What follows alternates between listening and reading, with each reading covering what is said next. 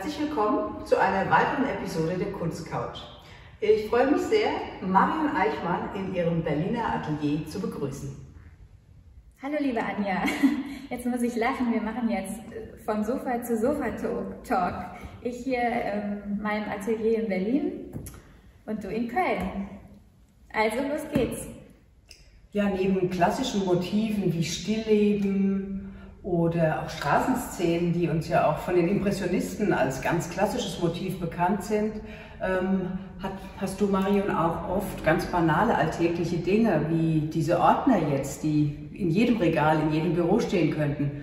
Ähm, was ist die Motivation, welches Motiv auszuwählen? Oder wie findest du deine Inspiration, um deine Motive dann auch umzusetzen in deine Sprache?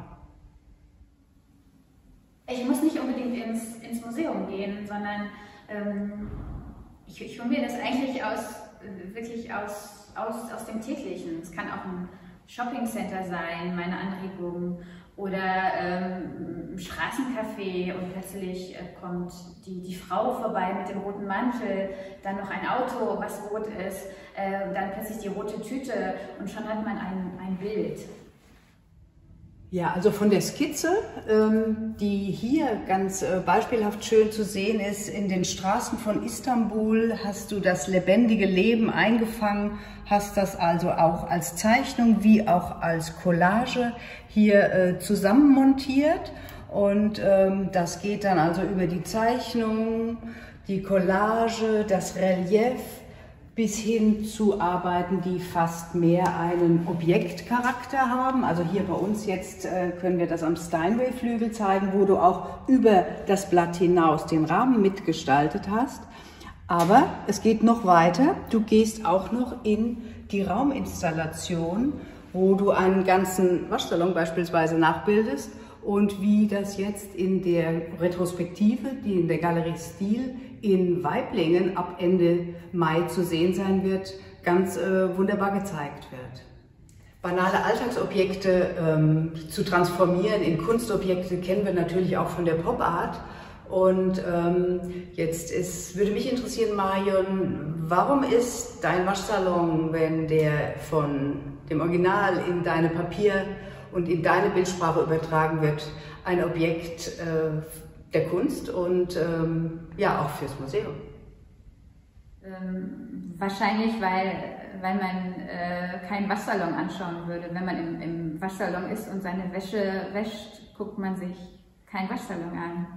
Wenn man im Museum steht und äh, aufgebaut ist da ein, ein riesiger Waschsalon, ähm, hat man schon Interesse, sich das anzuschauen, weil man das gar nicht glauben kann, äh, dass da plötzlich ein Waschsalon steht. Ich habe mir tatsächlich noch, nie Gedanken darüber gemacht, äh, wie Leute meine Sachen sehen könnten ähm, oder was sie darüber denken. Das wäre auch fatal, weil ich glaube, das Wichtigste ist, dass, dass man dass man hundertprozentig hinter dem steht, was man macht. Ähm, man kann zehn Leute fragen, man bekommt zehn verschiedene Antworten ähm, und sich selber treu bleiben und einfach das zu machen, wonach, was, was, was, was, was mich so drängt, darum geht es eigentlich, um nichts anderes. Ja, die Bandbreite deiner Motivik ist ja sehr breit, äh, das haben wir ja jetzt auch äh, schon gesehen. Und Jetzt ist die Frage, was ist eigentlich wichtiger? Ist es das Motiv oder ist es das Formale? Also die Herausforderung, wie du etwas umsetzt, wie du auch immer wieder neu etwas entwickelst, wie du deine Motive umsetzt. Also für mich ist es ja auch so, dass, dass alles, alles, was es gibt, ähm, bekommt eine Zuordnung, also einen Charakter. Und ähm, es gibt böse Dinge oder auch, auch liebliche Dinge. Aber bei einer Steckdose interessiert mich nicht die Steckdose mehr an sich, sondern wirklich dieses Bild, das, was man daraus machen kann. Ja, wie kann man sich denn den Arbeitsprozess vorstellen? Zum Beispiel so eine komplexe Straßenszene wie das hier in Istanbul. Ähm, bist du denn dann da vor Ort oder hast du eine Fotografie, äh, nach der du diese Arbeit dann umsetzt? Wie machst du das? Ich bin nicht auf der Suche, sondern ich sehe was, was mich reizt oder auch gar nicht reizt und, und fange einfach an, das ähm, in so einem Format zu zeichnen vor Ort ähm, und mich quasi so, so ranzutasten. Wenn, wenn es, wenn es nicht möglich ist, ähm, lange an einem Ort zu verweilen, kann es auch sein, dass ich heutzutage auch mal mit dem Foto arbeite. Aber dieses Aufnehmen, das, das ist schon ein ganz großer Reiz daran. Und man muss sich ja auch vorstellen, dass meistens Autos vorbeifahren und Hektik äh, ist, Lautstärke. In Istanbul stand ich oft in der Fußgängerzone und habe einfach alles aufgezeichnet, was ich sehe. Also die ganzen Skizzen, die ganzen Menschen, die vorbeigezogen sind. Und, ähm, und versuche da auch, auch charakteristisch diese, dieses Laute mit, mit in das Bild zu übertragen. Ja, es scheint so, als würde alles, was dich umgibt, äh, die Möglichkeit für dich bergen, das in Kunst umzusetzen. Alles ist bildwürdig, alles ist interessant, ähm, ohne dass das jetzt banal wäre, aber tatsächlich dieses Übertragen dessen, was dich umgibt, was du erlebst, äh, in diesem Moloch Berlin auch, ähm, aber auch an anderen Städten, äh, in denen du bist, wird von dir umgesetzt in deine Sprache der Kunst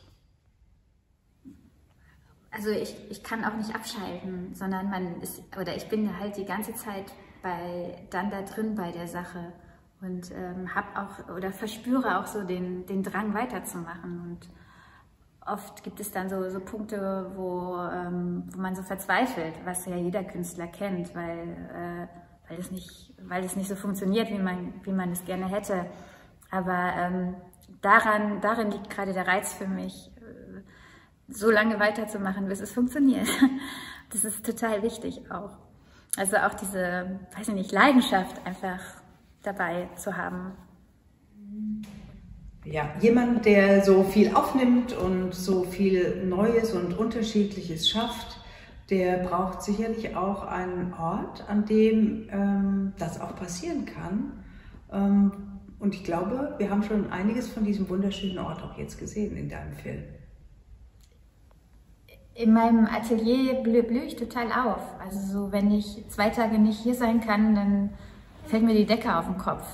Ähm, und eigentlich dreht sich alles hier ab. Und dieses Ausprobieren und meine ganzen Farben, Farbschnipsel und ähm, immer auf der, auf der Suche auch zu sein und, und nach der, der Drang irgendwie weiterzukommen. Das, ja, das das ist immer gewaltig und, und ich bin eigentlich, ich freue mich total, dass, dass das funktioniert und dass ich das machen darf. Ähm, und ähm, auch, dass sich Leute für die Kunst interessieren. Schön, sehr schön. Ja, dieses Interesse an der Kunst finden wir natürlich auch sehr schön und hoffen, dass wir das mit dieser neuen Kunstcouch auch wieder ein bisschen haben beflügeln können. Äh, Im Abspann, wie immer, sehen Sie ein paar Bilder von Marion Eichmann. Wenn es Sie interessiert, wenn Sie etwas wissen möchten, melden Sie sich bei uns. Wir freuen uns. Tschüss, bis zur nächsten Kunstcouch.